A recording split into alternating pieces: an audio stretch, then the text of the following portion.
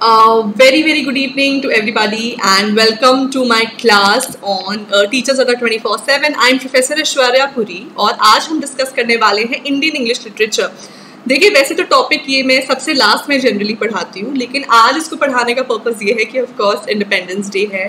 तो I think थोड़ा सा इंडिया का contribution in the world literatures बनता है so I decided to take up this class a very good evening everybody and happy independence day recorded class नहीं है, Shikha Dubey live class चल रही है। I can see your comment don't worry not a live class not a recorded class I am taking it very much live today and it is a very very important class because ये वो topic है जिसमें UGC net तक के बच्चे मात खा जाते हैं।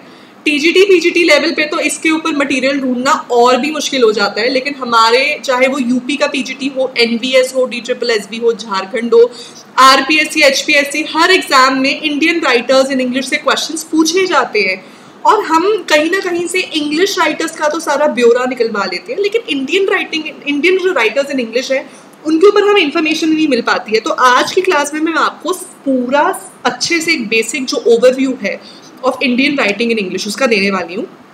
साथ ही साथ जो है मैं आपके साथ आ, इनकी जो टाइमलाइन है इस इंडियन राइटिंग इन इंग्लिश का डेवलपमेंट कैसे हुआ इंडिया में इसका इंट्रोडक्शन कैसे हुआ ये किस तरीके से रिफॉर्म करता करता अपनी मॉडर्न स्टेज तक अपनी फाइनल स्टेज तक आया ये सब मैं आपके साथ आज की जो है क्लास में डिस्कस करूँगी ठीक है?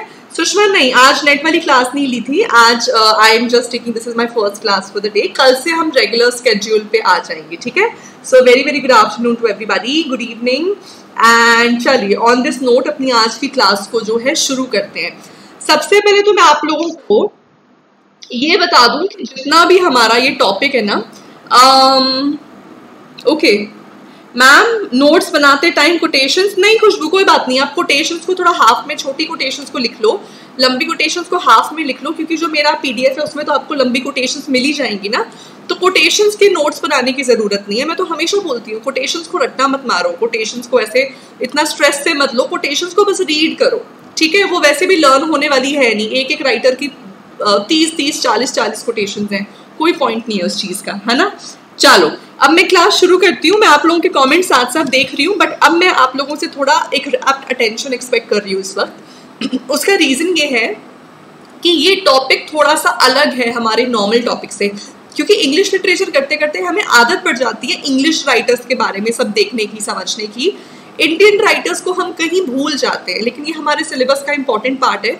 मैं आपको बता दूँ, जितने भी हमारे टीजीटी पीजीटी एग्ज़ाम्स हैं, सिर्फ़ यूपी के टीजीटी को छोड़ के उसके अलावा बाकी सब में जो है आपको इंपॉर्टेंट जो इंडियन राइटर्स हैं, वो कवर करने पड़ेंगे। एनवीएस के सिलेबस में मैंशन है मॉडर्न राइटर्स तो मॉडर्न राइटर्स में आपके ये सारे इंडियन राइटर्स भी आ जाते हैं। नॉन ब्रिटिश राइटर्स ऑटोमेटिकली आ गए, ठीक है? डी ट्रिपल एस बी में वो कहते हैं कि पीजी लेवल तक का सारा सिलेबस तो पीजी लेवल तक के सिलेबस में चाहे ग्रेड लेवल हो या पीजी लेवल हो आपको इंडियन राइटर्स कवर करने ही करने हैं। झारखंड की भी बात करें तो झारखंड में भी देखें, हमारे पास सिलेबस में ये टॉपिक्स मेंशन है निसिम इज़ की पोइट्री मेंशन है। तो again it is very very important for us and our syllabus तो हमें इसको ना अच्छे से करना है। अब मैं चाहती हूँ आप एक बार सब भूल के मेरे साथ यहाँ पे पढ़ाई शुरू करो बिकॉज़ आज जो मैं आपको बताने वाली हूँ, ये हमारे ब्रिटिश लिटरेचर से अलग है। ये इंडियन कॉन्टेक्स्ट में इसको समझेंगे। तो ऐसे आप मेरे साथ शुरू करिएगा, ठीक है? और um, um, बिल्कुल Manish hi happy happy independence day and Rajesh बस uh, जल्दी uh, झारखंड का बैच uh, मैं आपको डेट्स बता देती हूँ it will start almost in the end of the month in the end of the month हम थोड़ी इसकी शुरुआत करेंगे और मैं आपको सजेस्ट ही करूँगी अभी हमारी महापैक पे डबल वैलिडिटी सेल चल रही है तो अगर बैच में एनरोल करना है तो आज महापैक ले लो। क्योंकि उसमें क्या है ना थर्टी थ्री हंड्रेड रुपीज़ में टेस्ट सीरीज़ भी मिल रही है ई बुक्स भी मिल रही है आपको साथ में एक एक वैल एक बार ये कोर्स ले लोगे महापैक तो दो साल के लिए सारे पेपर्स की ओपन वैलिडिटी आपके पास। तो ये लेना प्रेफरेबल है, ठीक है? तो मैं आपको रेकमेंड करूँगी कि आप आज जो जितने भी लोग कोर्स बाय करने का सोच रहे थे today is the right time because आज रात तक ही हमारी इंडिपेंडेंस डे सेल लाइव है। डबल वैलिडिटी चल रही है। उसके बाद डबल वैलिडिटी खत्म, फिर से थर्टी थ्री हंड्रेड रुपीज़ में वन ईयर का कोर्स ही मिलेगा। अभी थर्टी थ्री हंड्रेड में टू ईयर्स का कोर्स मिल रहा है। So it's very very useful चलिए on that note class start करते हैं। हम कर रहे हैं इंडियन इंग्लिश लिटरेचर उसका सारा मैं बेसिक ओवरव्यू आपको देना चाहती हूँ। पहले तो मैं आपको ये बता दूँ हम इंडियन इंग्लिश लिटरेचर को ना थ्री फेजेस में पढ़ेंगे। ये डेट्स याद रखनी आपके लिए बहुत ज़रूरी है। जो सबसे पहला फ़ेज़ है हमारे पास वो है 1864 से 1920 का। यानी हम नाइनटीन सेंचुरी में चले गए हैं। ये वो वाला पीरियड है जिस पीरियड में सिपॉय म्यूटनी वगैरह शुरू हो गई थी है ना? The first sepoy mutiny happened in 1857 ठीक है? तो उसका मतलब जिस पीरियड से social uh, reforms military reform शुरू हो गए थे रेवोल्यूशन की आग शुरू हो गई थी। Social reformers like Raja Ram Mohan Roy scene में आ गए थे। तो उस पीरियड के कंटेम्प्रेरी अगर हम देखें तो इंडियन इंग्लिश राइटिंग जो है, उसकी शुरुआत हो रही है। और ये चलता है 1920 तक। 1920 में हमारा second phase of Indian English writing आ जाएगा। ये आने वाले इंडिपेंडेंस के बाद तक का चलेगा। 1920 में क्या चेंज हुआ? हमारे पास सीन में तीन राइटर्स आते हैं, जिनको कि हम the pillars of Indian English fiction बोलते हैं। Raja Rao Mulk Raj Anand and R K Narayan, ठीक है? आर के नारायण को आप सब लोग जो है, Swami and friends Malgudi days Malgudi, ये सब नामों से जानते होंगे। आप इन वर्ड्स के साथ कोरिलेट करते होंगे। आपने कहानियाँ भी पढ़ी होंगी, आपने नॉवल भी पढ़ा होगा स्वामी एंड फ्रेंड्स आपने मालगुडी डेज़ शोज़ भी शो शो को भी देखा होगा, है ना? तो सारी की सारी जो चीज़ें हैं, वो हमारी इस पीरियड की हैं। इसी पीरियड में इंडिपेंडेंस होगा तो यही राइटर्स प्री इंडिपेंडेंस क्या लिख रहे हैं और पोस्ट इंडिपेंडेंस क्या लिख रहे हैं, उसमें काफ़ी फ़र्क है। तो वो अभी हम आज की क्लास में कवर करेंगे। साथ ही साथ मैं आपको बताऊँगी कि जैसे जैसे इंडिपेंडेंस खत्म हो जाती है इंडिया को इंडिपेंडेंस मिलती है 1947 में। और ब्रिटिश लिटरेचर में या यूरोपियन अगर हम ट्रेंड को देखें तो हमारा पोस्ट मॉडर्न जो एज है, वो शुरू होता है 1945 में। मॉडर्न एज खत्म होता है पोस्ट मॉडर्न एज शुरू होता है। अब इंडियन इंग्लिश राइटर में राइटिंग्स में मॉडर्न पोस्ट मॉडर्न में ज़्यादा डिफरेंस नहीं है। जो ट्रेंड्स जो traditions in writing and poetry particularly modern age में चल रहे थे प्री पोस्ट मॉडर्न एज में भी वही चलेंगे, ठीक है? तो 1980 तक, यानी सेकंड फ़ेज़ तक जो है इंडियन जो राइटिंग इन इंग्लिश है पर्टिकुलरली नॉवेल्स एंड पोइट्री ये अपना मॉडर्न फॉर्म अज्यूम कर लेगी। 1980 से जो है, एक बहुत मेजर ट्रांसफॉर्मेशन आएगा। इंडियन राइटर्स अपने आप को ग्लोबल प्लेटफॉर्म पे अजर्ट करना शुरू कर देंगे। Particularly you know it will start with the writings of Salman Rushdie मैं पर्टिकुलरली उनको मेंशन कर रही हूँ बिकॉज़ आप सब जानते हैं कि रिसेंटली सलमान रश्दी के साथ अभी कल परसों एक बहुत बड़ा हादसा भी हुआ है। So let's all pray for his speedy recovery Salman Rushdie का जो मिडनाइट चिल्ड्रन था, उसकी पब्लिकेशन के साथ हम कह सकते हैं कि इंडियन इंग्लिश राइटिंग का थर्ड फ़ेज़ जो है कहीं ना कहीं शुरू होता है। उनका वो नॉवल 1981 का पब्लिश्ड है। ठीक है? तो ये तीन फेजेस हमने दिमाग में याद रखने हैं। मुझे कमेंट सेक्शन में फटाफट बता दो, सबको ये तीन फेजेस आ गए समझ में?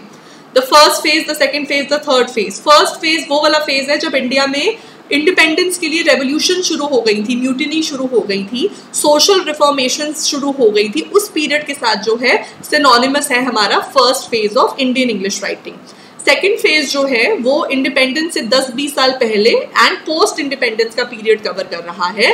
और थर्ड फ़ेज़ जो है, वो जब हमारी इंटरनेट ईर आ जाती है, ठीक है नेट टेक्नोलॉजी कंप्यूटर टेक्नोलॉजी जब से शुरू हो रही है, वहाँ से हमारा थर्ड फ़ेज़ शुरू हो रहा है precisely with the publication of mid summer night stream ठीक है? और by Salman Rushdie in the year 1981 I hope ये सबको समझ आ गया हो, ठीक है?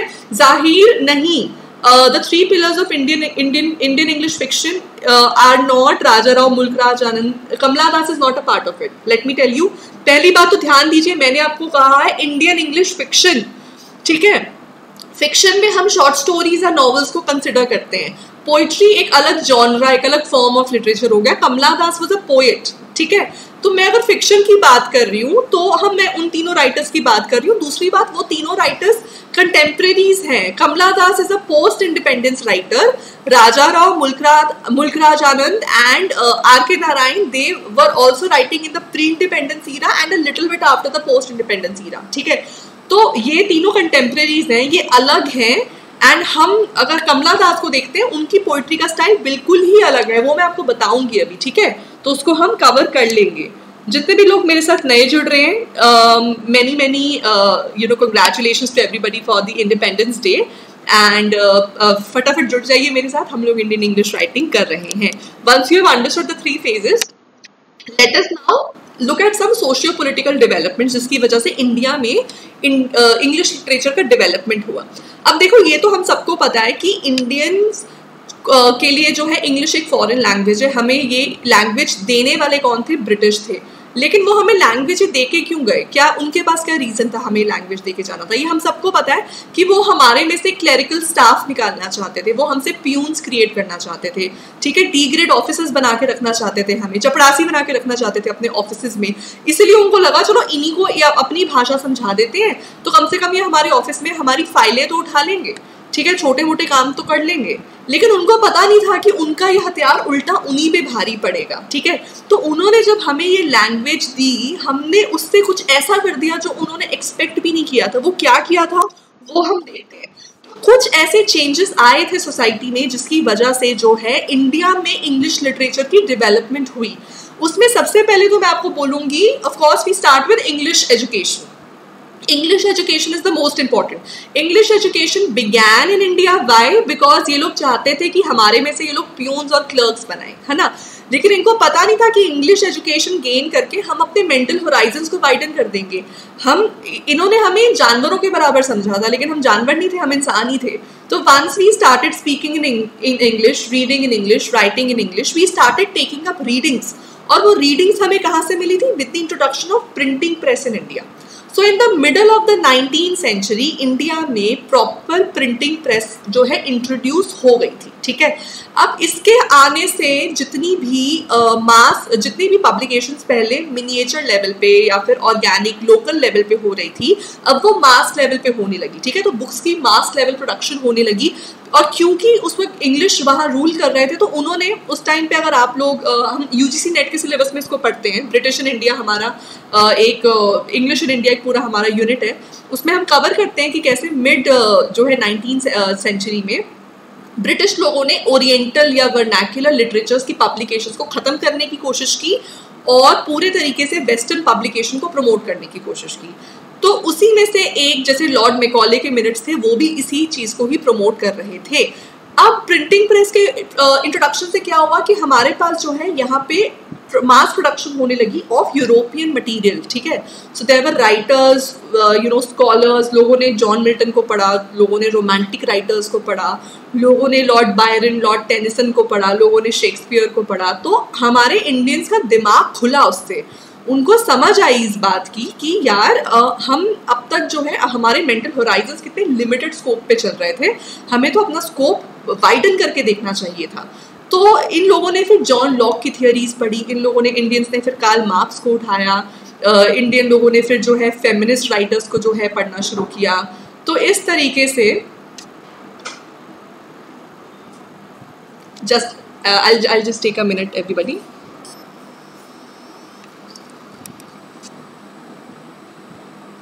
so इस तरीके से sorry I had to see somebody of हाँ जी.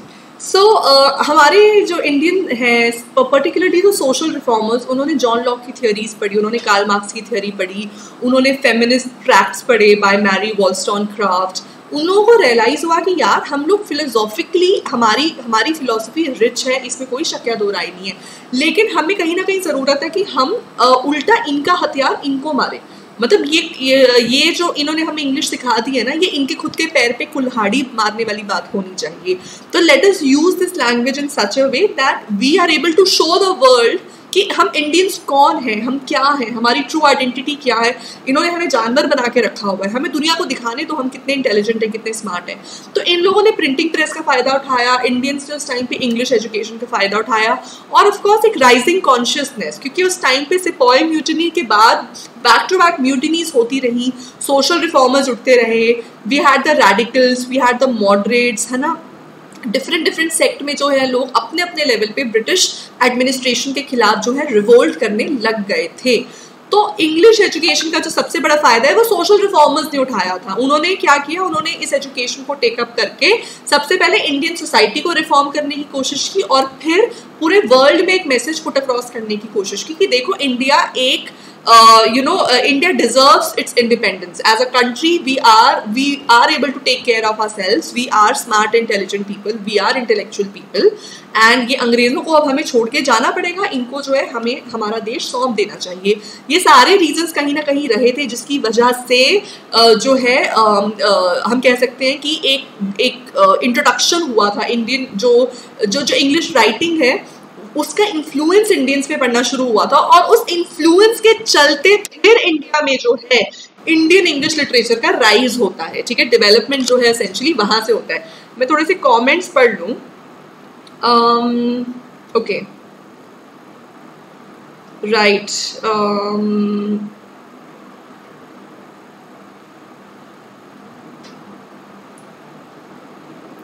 Uh, मैं क्लास कहीं से भी ले रही हूँ. It's very important I think what what really matters is that कि मैं क्लास ले रही हूँ राइट चलिए आगे बढ़ते हैं. तो ये जो सारी चीज़ें हुई ये जो हमने पास डेवलपमेंट देखी ठीक है? इनकी वजह से इंडियन जो पॉपुलेशन है which was now well versed in English which could now talk in English walk in English laugh in English cry in English what they did is that और चलो, हम भी कुछ लिखते हैं. So initially the popular form of literature was non fiction ठीक है? Initially in लोगों ने जो कुछ लिखना शुरू किया, वो नॉन फिक्शनल वर्क्स लिखने शुरू किया अभी फिक्शन लिखना शुरू नहीं किया था, ठीक है? तो इन लोगों ने पॉलिमिक एसेज पॉलिमिक एसेज क्या होती है, जिसके अंदर आप अपनी आइडियोलॉजी प्रेजेंट करते हो। तो आप अपना पॉलिटिक्स पॉलिटिकल व्यूज़ डिस्कस कर रहे हो, आप अपने सोशल व्यूज़ डिस्कस कर रहे हो, आप डिस्कस कर रहे हो कैसे इंग्लिश लोगों को इंडियन एडमिनिस्ट्रेशन को फ्री कर देना चाहिए, उस तरीके के ऐसेज थे पॉलिमिक एसेज पीरियोडिकल्स हो गए आपके magazines biographies of famous Indian personalities famous जो स्पीचेज हैं, उनका रिटर्न वर्जन पैम्फलेट की फॉर्म में जो है फैलने लगा।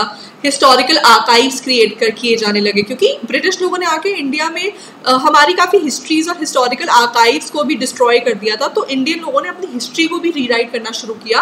Now in a universal language like English ठीक है? तो इस तरीके से इनिशियली जो इंडियन लिटरेचर जो डेवलप हो रहा था शुरुआत में वो फिक्शनल नहीं था। ऐसा ही नहीं कि आते ही पोइट्री शुरू कर दिया आते ही ड्रामा शुरू कर दिया। It started off with non fiction ठीक है? With these kind of things लेकिन फिर इंडियन रेवोल्यूशनरीज ने कहा यार अल्टीमेटली हम लोग पीरियोडिकल्स uh, लिख रहे हैं हम लोग बायोग्राफीज लिख रहे हैं। उसके लिए हम मॉडल कहाँ से फाइंड कर रहे हैं? हम मॉडल फाइंड अभी भी यूरोपियन राइटर से कर रहे हैं। हमने तो ऐसा पहले लिखा नहीं है। हम इसका हम हम इसके लिए इंस्पिरेशन कहाँ से फाइंड कर रहे हैं? या हम इमिटेशन कहाँ से कर रहे हैं? यूरोपियन राइटर्स से। तो मैंने आपको पढ़ाई है ये बात पहले भी। कि हमारे पास जो एटीन सेंचुरी का जो लिटरेचर है ठीक है उसके अंदर सॉरी मेरा डॉग भी आ गया साथ में क्लास लेने के लिए।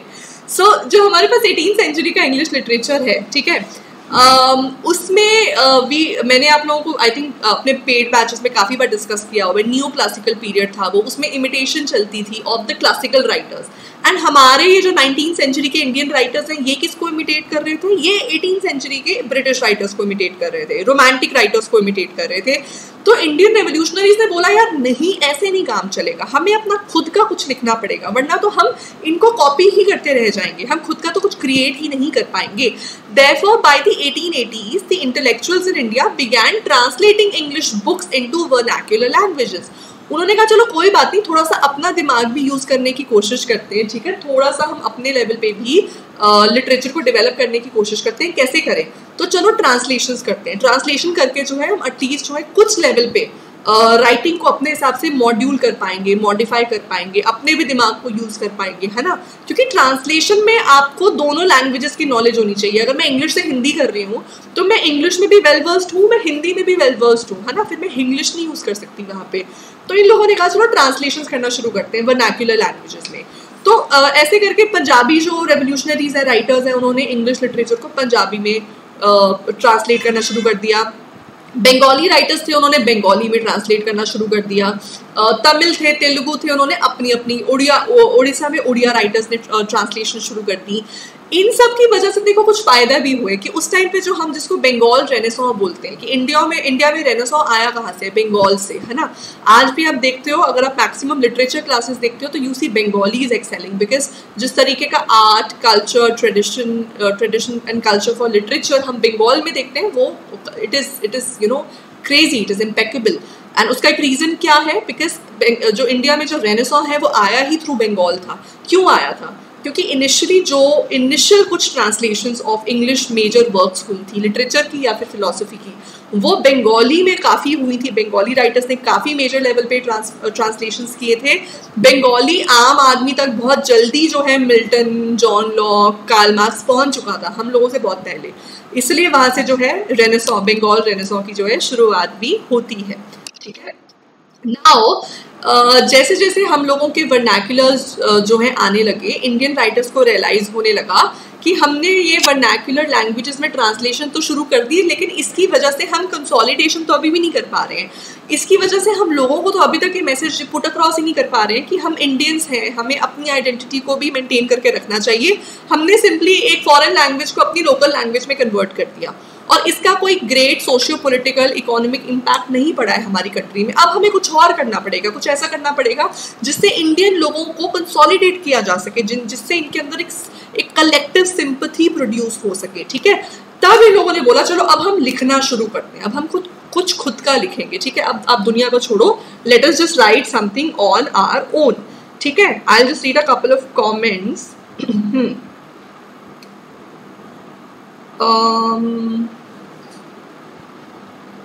please okay मेरी स्क्रीन मेरी स्क्रीन बड़ी होने से कोई पर्पस नहीं होगा। आप बस मेरे को सुनिए। मेन तो जो मैं आपको पॉइंट्स पढ़ाना चाहती हूँ, वो सब स्क्रीन पे है और आई थिंक काफ़ी बड़ी स्क्रीन पे है तो आपको वो समझ आ रहा होगा इसमें। ठीक है? और हाँ जी। ऑल राइट या सो अब इन लोगों ने बोला, चलो, अब हम अपना खुद का कुछ लिखना शुरू करेंगे, ठीक है? सो नाउ इन लोगों now what they started doing is that इन्होंने देखा अच्छा यूरोप में किस तरीके का लिटरेचर चल रहा है? तो जिस पीरियड में एटीन सेवेंटीज एटीज नाइनटीज में इन लोगों ने सोचा, खुद का कुछ लिखेंगे, उस पीरियड में यूरोप में क्या चल रहा था? रियलिज्म चल रहा था, है ना? ये जितने भी मेरे पीजीटी के यूपी के स्टूडेंट्स हैं जितने भी बाकी टीजीटी पीजीटी हैं वो सब अग्री करेंगे। मैंने आप लोगों को पहले भी बता रखा है, ये मैंने आपके साथ हिस्ट्री ऑफ़ इंग्लिश लिटरेचर भी डिस्कस किया हुआ है कि नाइनटीन सेंचुरी में इंग्लैंड में इनफैक्ट पूरे यूरोप में रियलिस्ट नॉवल्स का ट्रेंड चल रहा था, ठीक है? Charles Dickens Thomas Hardy George Eliot यही सब लिख रहे थे। तो इंडियंस ने भी बोला, हम इसी तरीके का जो है कुछ रियलिस्ट लिखेंगे। और रियल रियलिस्ट लिखने का फ़ायदा भी था। आप दुनिया को दिखा रहे हो एग्जैक्टली exactly आपके देश में क्या चल रहा है। आप दुनिया को अपनी रियलिटी प्रेजेंट कर रहे हो। इससे पहले ब्रिटिश लोग हमारी वॉइसेस और हमारी आइडेंटिटी को म्यूट कर देते थे और वही दुनिया को दिखाते थे जो वो दिखाना चाहते थे। अब इंडियन राइटर्स को मौका मिला एक फॉरेन लैंग्वेज में, एक यूनिवर्सल लैंग्वेज में अपनी असलियत दुनिया को दिखाने का as it was hence the writers of India Indian English writing they adopted fiction to convey their reality their thoughts their ideas अब हम आते हैं अपने फर्स्ट फेज पे ठीक है the first phase of writing in Indian English so the first one we have some initial names I will take here these names are very important so one of the earliest writers of uh, english by uh, you know in, in in india we have this uh, poet called michael madhusudan dutt इनको जो है John Milton से बहुत inspiration मिली थी। इन्होंने John Milton को पढ़ के जो है सोनेट फॉर्म को समझा और ब्लैंक वर्स पोइट्री को समझा फ्रॉम हिज पैराडाइज लॉस्ट और मिड नाइनटीन सेंचुरी से ही इन्होंने इस यू नो इसके ऊपर एक्सपेरिमेंटेशन शुरू कर दी थी कि ब्लैंक वर्स में इंग्लिश पोइट्री कैसे लिखते हैं। और उसके बाद के जो कुछ पोएट्स थे, वो इंस्पायर थे रोमांटिक राइटर्स से। तो काफ़ी लोग जो है लॉर्ड बायरन से इंस्पायर थे लॉर्ड बायरन की स्टाइल ऑफ़ राइटिंग से इंस्पायर थे। काफ़ी जो लोग हैं वो वॉल्टर स्कॉट की नेशनलिस्ट पोइट्री से इंस्पायर थे कि जिस तरीके से वॉल्टर स्कॉट ने अपने स्कॉटिश नेशनलिज्म को प्रमोट किया था अपनी पोइट्री के थ्रू उसी तरीके से हम भी इंडियन नेशनलिज्म को प्रमोट कर सकते हैं अपनी पोइट्री के through and the first ever novel which was published in Indian English was Bankim Chandra Chatterjee Rajmohan wife इसके ऊपर यूजीसी नेट में भी यू नो मल्टीपल क्वेश्चन आते हैं। एंड uh, ये एक बेसिक एक आई थिंक जीके का फैक्ट भी है एक लिटरेरी फैक्ट भी है जो एज स्टूडेंट्स ऑफ़ लिटरेचर आपको पता होना चाहिए। ठीक है? सो बंकिम चंद्र चैटर्जी का Rajmohan wife it was publish in the year 1864 and it is consider to be the first ever novel in English in India उस टाइम पे कुछ और भी फ़ेमस रियलिस्ट नॉवेल्स पब्लिश हो रहे थे इंडिया में लाइक गोविंद समांत एंड थिलई गोविंदन ठीक है? ये लोग भी कुछ, ये भी कुछ इनिशियल फॉर्म्स ऑफ़ नॉवेल्स हैं जो इंडिया में पब्लिश होते थे पोइट्री की जहाँ तक बात करें तो जो इंडियन फीमेल कुछ बहुत इनिशियल कुछ हमारे पास फीमेल राइटर्स भी हैं जो इंडिया में इंग्लिश में लिख रही थी।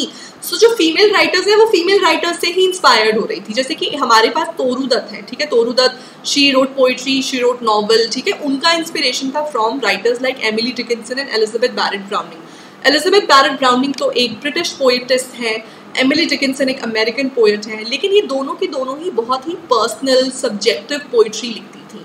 तो वो जो पर्सनल स्टाइल ऑफ़ राइटिंग है, वो जो एक सब्जेक्टिविटी है अपनी पोइट्री अपने वर्क्स में डालना, वो तोरू दत्त ने इन दोनों पोइट्स के थ्रू सीखा था, ठीक है?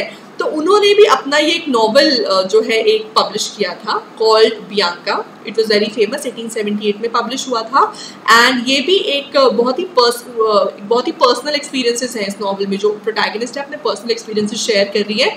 और इंस्पिरेशन इनको कहाँ से मिली? एमिली डिकिंसन और एलिजाबेथ बैरेट ब्राउनिंग की पोइट्री से।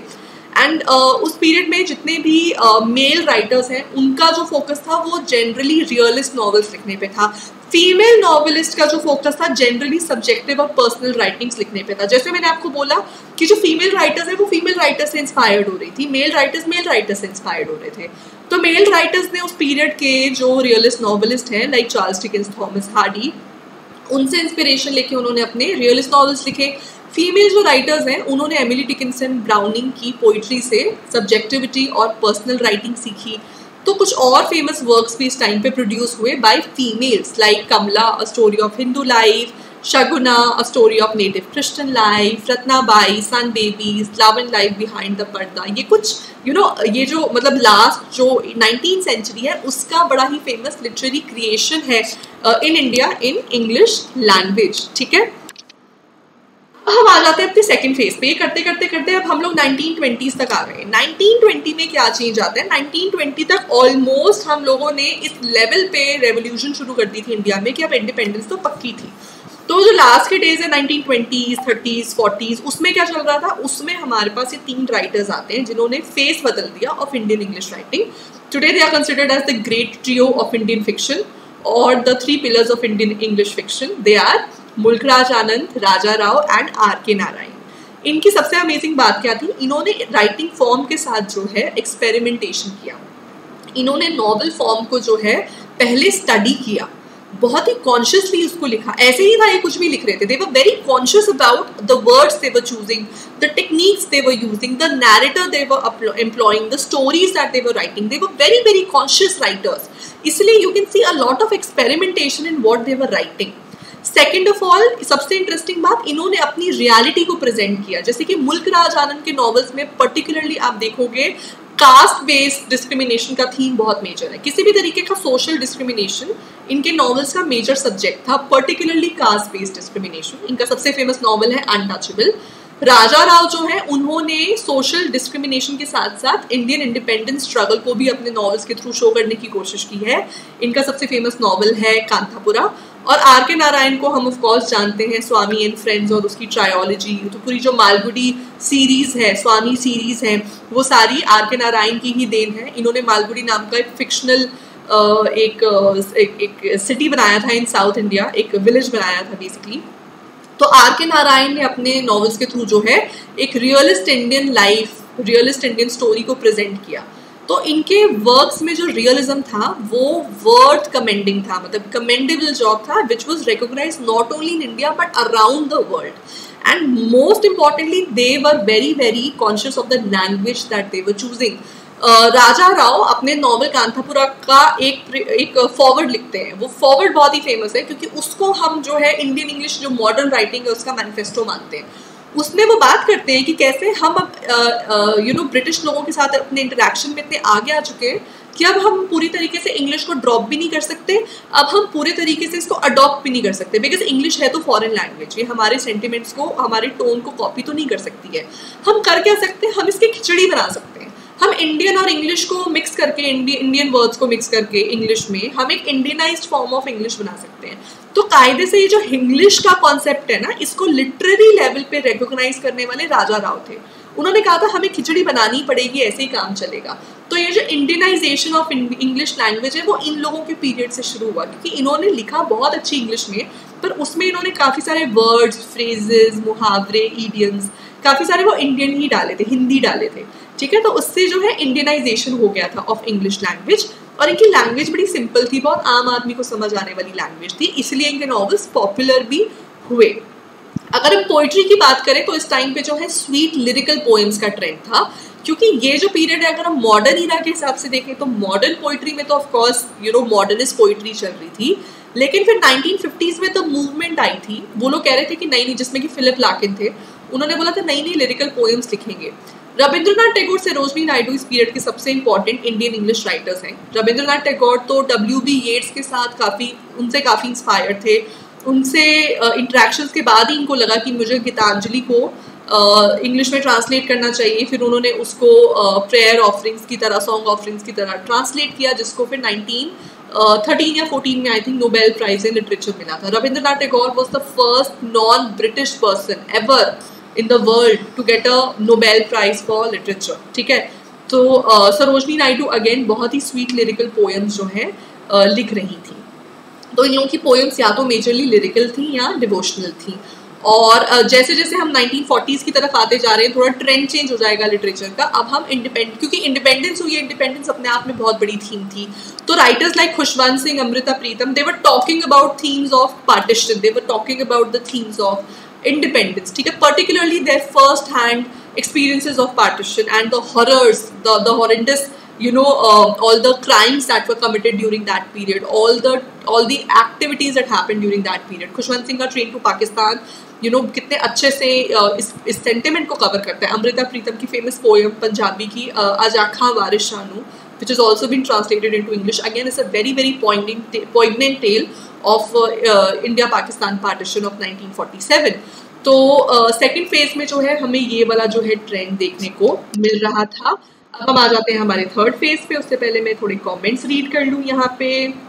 बिल्कुल मनीष जिस तरीके से थॉमस हार्डी ने वेसेक्स को बनाया था आर के नारायण ने uh, मालगुडी को बनाया था। बिल्कुल। एंड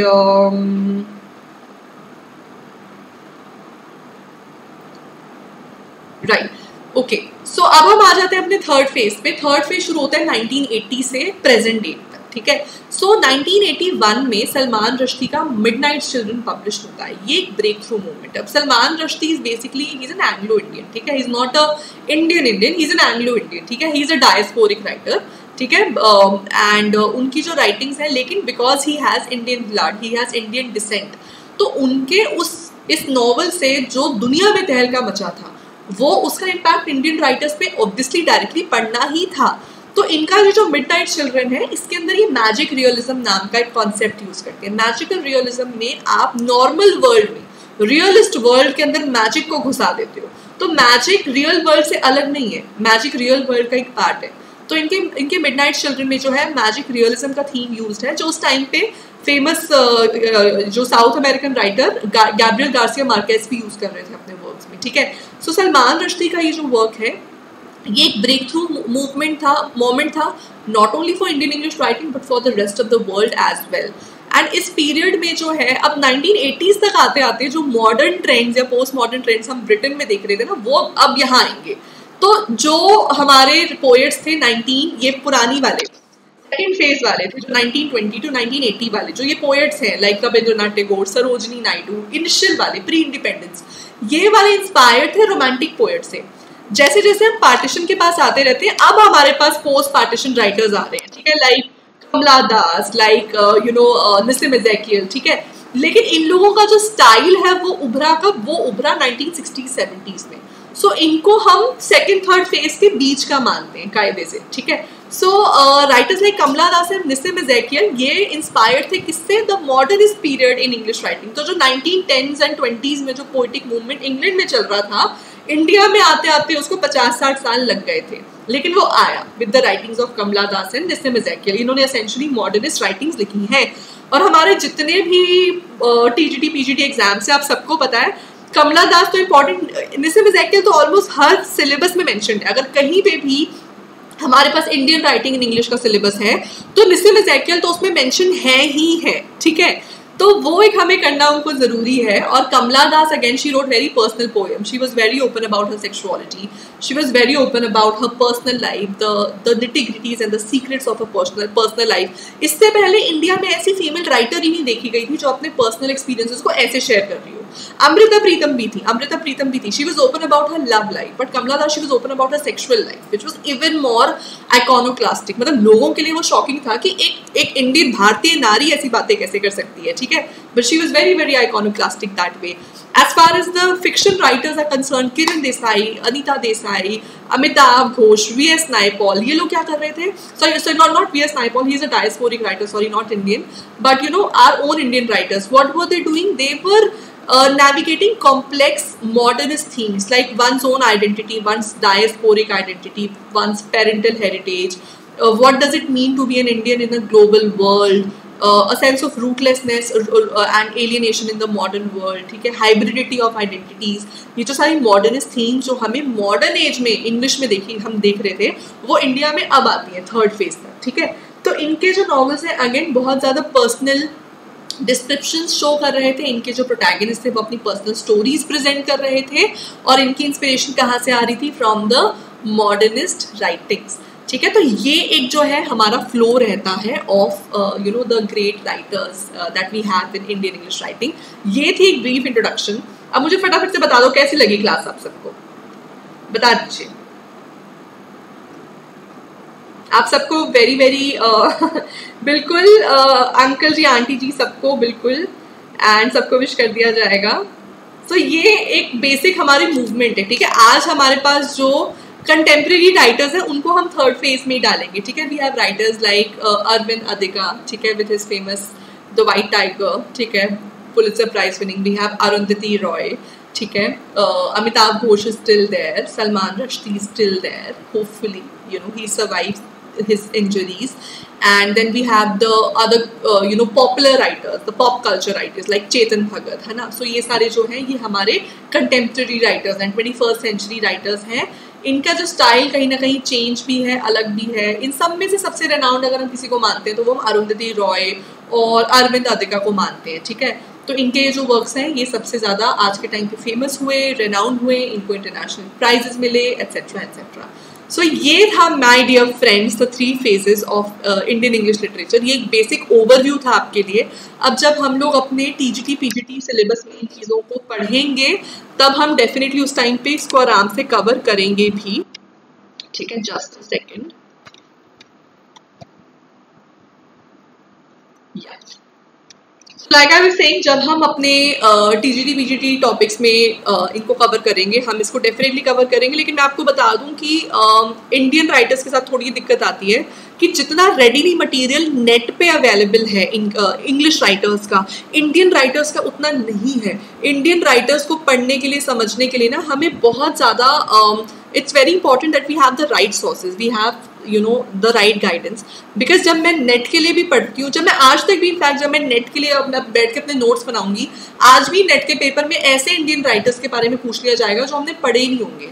बिकॉज़ हमारे पास एक बहुत अच्छी कोई कंसोलिडेटेड बुक ही नहीं है, जिसके अंदर मॉडर्न पोस्ट मॉडर्न राइटर्स को अच्छे से कवर किया गया है। तो टीजीटी पीजीटी में भी आपको मटेरियल को लेकर थोड़ी बहुत दिक्कत आ सकती है, लेकिन मेरी क्लासेस में मैं आपको इंश्योर करती हूँ कि सारे प्रीवियस ईयर पेपर्स को एनालाइज करने के बाद जो है, मैं, क्योंकि मेरा नेट के साथ भी बहुत अच्छा एक्सपीरियंस है। इनफैक्ट मेरा फोटे यूजीसी नेट के साथ है। तो यूजीसी नेट का सिलेबस करने के बाद मेरे लिए अब ये जो टॉपिक्स हैं, ये बहुत डिफ़िकल्ट नहीं रह जाते। मैं आपको ये बहुत अच्छे से समझा भी सकती हूँ, पढ़ा भी सकती हूँ। और आपके टीजीटी पीजीटी में अगर आपको लगता है कि सिर्फ़ ब्रिटिश राइटर्स को कवर करके आपका पेपर क्लियर हो जाएगा तो आप बहुत बड़ी गलत फहमी में ऐसा नहीं होगा। आपको इंडियन इंडियन इंग्लिश राइटर्स को भी उतना ही तवज्जो देना होगा, उतनी ही वैल्यू उतनी इंपॉर्टेंस देनी पड़ेगी जितना आप ब्रिटिश राइटर्स को दे रहे हैं।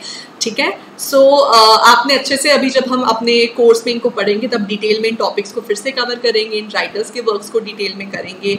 लेकिन इनको पढ़ने के लिए ये बैकग्राउंड समझना होना बहुत ज़रूरी है। और आज से बेटर डे कौन सा हो सकता था? आज हमारे इंडिपेंडेंस डे पे हमने इंडियन राइटर्स का कॉन्ट्रीब्यूशन देखा इन इंग्लिश लिटरेचर हमने हमारा बैकग्राउंड समझा और I don't think say better आज एक डे हो सकता था। टू स्टार्ट दिस कल से मैं अपनी क्लासेस रिज्यूम करूँगी। जॉन कीट्स की सीरीज़ मैंने फिनिश कर दी है with his the six great odes we have completed the rest of the poems I will discuss in detail in my paid batches कल यूट्यूब में मैं पीवी शैली के साथ शुरू कर दूँगी तो चार बजे मेरे साथ यही जुड़िएगा, हम पीवी शैली को जो है डिस्कस करेंगे। एंड मैं आपको बता दूँ, आज रात तक हमारी डबल वैलिडिटी सारे महापैक्स में चल रही है, ठीक? है अगर आपका कोई फ्रेंड है जो बैंकिंग एसएससी किसी और एग्ज़ाम यूपीएससी का भी बैच बाय करना चाहता था तो उसके महापैक में भी डबल वैलिडिटी आज रात तक मिलेगी आपको, और आपको टीचिंग महापैक में तो मिलेगी ही मिलेगी। तो हमारा झारखंड का बैच भी बहुत जल्दी लॉन्च होने वाला है इस महीने के एंड में। डी ट्रिपल एस बी का भी लाइव होने वाला है। तो जितने लोग डी ट्रिपल एस बी या झारखंड के लिए वेट कर रहे थे I think this is the right time to enrol because double validity है। देखो, राखी के उपलक्ष्य पे हमने आपको डबल वैलिडिटी दी।